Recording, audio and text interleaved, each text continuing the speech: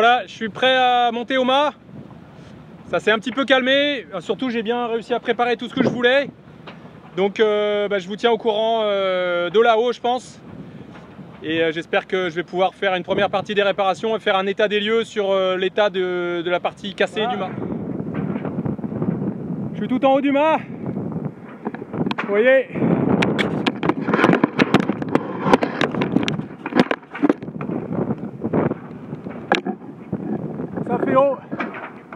Et pas facile cette ascension, ça bouge beaucoup.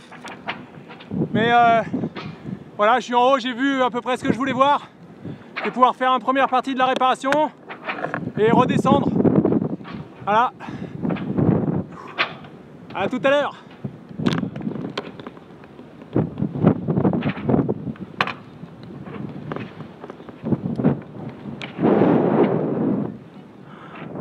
Voilà, je sais pas si vous voyez la tétière qui passe par-dessus le J1 qui donc va pouvoir me permettre de renvoyer la, voile comme il faut.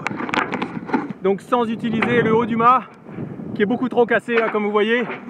Il est déchiré de partout. Donc ça va pas le faire du tout. Ça sert à rien d'essayer. Voilà.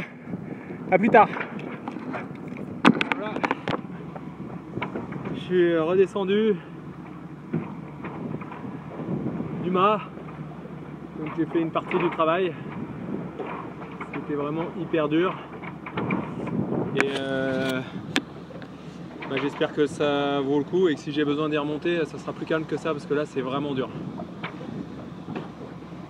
Voilà. Bah, en tout cas, ça c'est fait, une première. J'ai vu l'état du mât, donc on va pouvoir décider si c'est euh, réparable ou pas. Mais je suis assez sceptique donc euh, ce que j'ai fait ça devra être la solution pour continuer à naviguer.